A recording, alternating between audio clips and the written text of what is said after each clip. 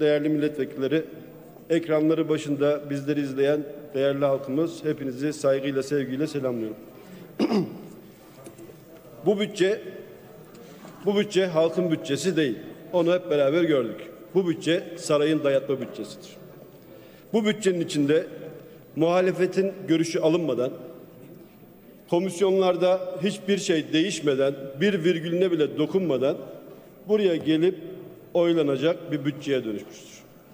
Evet, bütçenin içinde esnaf yok, halk yok, çiftçi yok, genç yok, üniversite mezunu yok, insan hakları yok, adalet yok, yok da yok. Bu bütçe sadece birilerine hizmet eden bir bütçeye dönüşmüş. Arkadaşlar, bu bütçeyi burada oylayacağız, geçecek. Hep beraber oylamayalım, geçmesin. Ne olacak? Eskiden bütçe oylanmadığı zaman hükümet düşerdi. Güven oyu alamazdı, hükümet düşerdi. Şimdi bu bütçe oylanmasa da, bu bütçe geçmese de Cumhurbaşkanı 2019 yılının bütçesini yeniden değerleme oranında revize ederek bütçeyi tekrar o gündeme getirebiliyor. Böyle bütçe olur mu? Yani bu bütçenin düzgün olmamasının en büyük sebebi bence sistemin bozulması. Cumhurbaşkanlığı hükümet sistemi diye bir sistem uydurduk. Milli olmayan, yerli olmayan, bilime dayanmayan, akla ve mantığa uygun olmayan bir sistem de bütçenin de bu şekilde olması gayet doğal. Emperyalist güçlerin istediği burada millet iradesini temsil eden 83 milyonu temsil eden meclisle mi uğraşmak daha zordur yoksa tek adamın dediği bir sistemle mi uğraşmak zordur? Ben emperyalist güç olsam tek adamın yönettiği sisteme uğraşması çok daha kolay derim ve demek ki bu sistemde emperyalist güçlere hizmet eden bir sistem olmuş. Sistem maalesef eskiden hukukun üstünlüğü vardı. Şimdi üstünlerin hukukuna dönüştü. Eskiden güçler ayrılığı vardı. Şimdi güçlülerin birleştiği bir sisteme dönüştü. Maalesef Türkiye'nin ihtiyacı olan şu anda güçlü adam, güçlü başkan, güçlü yürütme değil, güçlü bir şekilde millet iradesi birlik ve beraberliktir. Ortak aklı kullanmaktır. Uzlaşmaktır. Geldiğiniz 2002 yılından beri ortak aklı bıraktınız. Uzlaşma kültürünü yok ettiniz. Gazi Mustafa Kemal Atatürk'ün dediği yurtta barış, dünyada barışı yurtta kavga, dünyada kavgaya dönüştürdünüz. Artık artık bir şey söyleyeyim. Gidiyorsunuz arkadaşlar, gidiyorsunuz. Gidiyorsunuz. Yoksunuz gerçekten. Bunun Abi buraya oturanlar sataşma bölgesi. Sen yapma Fuat abi. Buradaki sataşma yeri burası. Evet.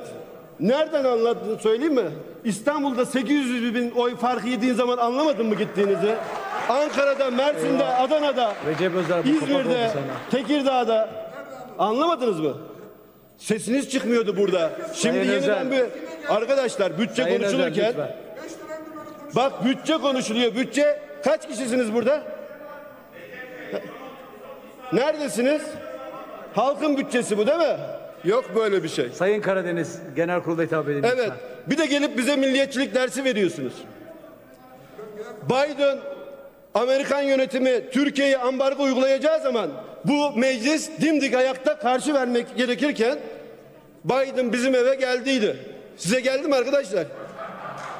Ya böyle bir dış politika siyaset ciddiyet ister. Bilim ister, akıl ister. Arkadaşlar lütfen rica ediyoruz. Politika, eğitim politikası altı sefer bakan değiştirdiniz, yedi tane müfredat değiştirdiniz. Emrullah İşler de burada. E ne var? Bir eğitimsiz, eğitimli sistemi eğitim sistemsizliğine dönüşmüş ülkede. Dış politika kavga üt etmediğimiz bir tane ülke kalmadı mübarek. Bu ülkede bu ülkede beş vakit ibadet ettiğini söyleyenler bu ülkeyi beş vakit nasıl soyarız onun hesabını yapıyorlar.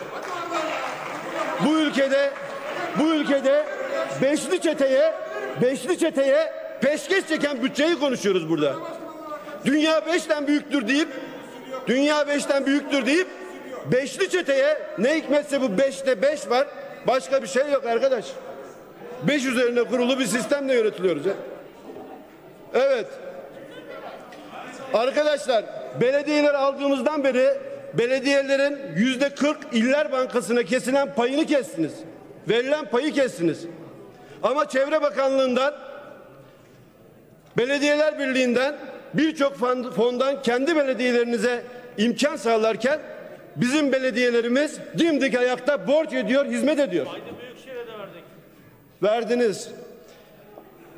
Helal olsun Ekrem İmamoğlu'na. Helal olsun Mansur Yavaş'a. İstanbul çok şeyi söylüyor. Helal olsun Adana Büyükşehir Belediye Başkanı'na, Mersin Büyükşehir Belediye Başkanı'na. Helal olsun Burdur Belediye Başkanı'na, Sinop Belediye Başkanı'na, Artvin Belediye Başkanı'na, Eskişehir Belediye Başkanı'na. Sizin bu faşizan yönetiminiz karşısında dimdik ayakta halkına hizmet etmeye gayret ediyorlar. Sosyal devlet anlayışını bir, bir buradaki Millet İttifakı'ndan bir de belediyelerden öğreneceksiniz. Belediyelerden.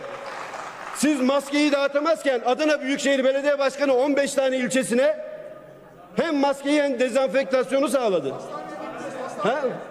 Mersin Büyükşehir Belediyesi şu anda genelgeyle yasakladığınız esnafların çalışamadığı hani övünüyorsunuz ya 500 lira vereceğiz 1000 lira su faturalarını 500 liraya kadar belediye ödüyor. Sosyal devlet böyle olur arkadaşlar. Sosyal devletin niteliklerini iyi öğrenin. Bakın, bakın giderken bu ülkeye belki şu sıralardan şu sıralara otururken bu sıralarda bu tarafa geldikleri zaman saygı duyulmak istiyorsanız bu muhalefete saygı gösterin. Dinleyin. Burada kaç tane milletvekili konuştu? Hiç vallahi dinlediğinizi görmedim. Sayın Bakan burada. Aile ve Çalışma Sosyal Bakanımız 11 sefer 11 sefer kadın olmasından dolayı mutluluk diyoruz. Böyle bir şey olmak için gurur duyduk. Sinop'ta bir sorun için 11 sefer aradım. Telefonu bugünden beri telefonla oynuyor. 11 sefer aradım. Bir sefer telefonla geri dönüş olmadı arkadaşlar.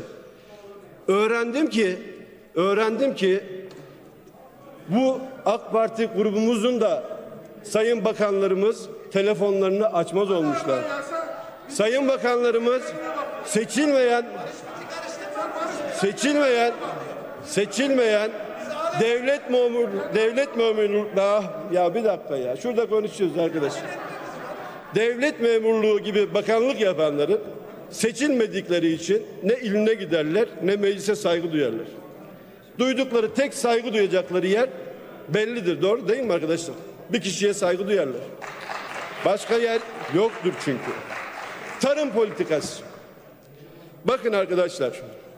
Tarımda Mısır'ı Amerika'dan, buğdayı Rusya'dan, arpayı İngiltere'den, samanı Gürcistan'dan, pamuğu ABD'den, peyniri Fransa'dan, Hollanda'dan, ayçiçeği Rusya'dan, nohutu Kanada'dan ithal ediyoruz. Beyefendi bir okuyun ya. Açın bakın. Sizin Bekir Bey. bunlar, Sizin. Sayın Vekilim ticaret lütfen. fazlası var ya? Sayın 22 Karadeniz siz de genel kurula hitap edin. 22 milyar dolar tarım destek bütçesi açıkladınız. Geçen sene de bütçede 22 milyardı. Geçen sene dolar 5.90'dı. Bu sene 8 liraya yaklaştı. Geçen seneden bu yana ithal ettiğiniz ürünlere yüzde 50 zam geldi. 22 milyar dolar oldu 7,5 milyar dolar. Cumhurbaşkanlığı bütçesi de 4 milyar dolar arkadaş. Bu çiftçiye bu zulüm niye? Biraz düşünün ya, biraz düşünün. Bakın şu gördüğünüz elimde dünyanın Türkiye'de oltu taşı, kehribar taşı tesbihleri vardı. Dünyanın en pahalı tesbihi oluştu. Bakın Mısır, Amerika'dan, Amerika'dan sarımsak, taş köprülü vatandaşlarımıza sesleniyorum. Artık oy vermeyin. Çin'den ithal ediyoruz şu anda. Evet. Benim Sinoplu hemşerilerime buradan gene sesleniyorum. Pirinci de Çin'den ithal eder olduk. Bizim çiftçimiz bizim çiftçimiz beklesin. Abi Tamamlayalım. Tamamlayalım lütfen. şu şu şu tesbih şekline dönüşen 248 milyar dolar ithal ettiğimiz 2002 yılından beri çiftçiye zulüm ettiğiniz 248 milyar dolar. Bunu taşıyacak biri var mı içinizde? Varsa varsa hemen hediye ederim. Ama zannetmiyorum. Çünkü bu çiftçinin alın teri. Bu çiftçinin ahtı. Arkadaşlar sistem böyle olduğu sürece ortak akıl kullanılmadığı sürece bu vatandaşa milliyetçilik edebi- edebiyatı yapıp bu vatandaşın yanında olmadığınız sürece bu sistem çökmüştür arkadaşlar. Siz de pişmansınız biliyorum ama üzülerek söylüyorum. Üzülerek söylüyorum. En kısa zamanda gidiyorsunuz. Allah selamet versin. Yaptığınız güzel işler için teşekkür ederiz. Bundan sonra ne varsa halk için Cumhuriyet Halk Partisi var, Millet İttifakı var. Bunu da kulağınızı Selamlayalım lütfen. vaktimi kısa kullandım. Genel kurulu saygıyla selamlıyorum. Teşekkür ediyorum. Peki. Teşekkür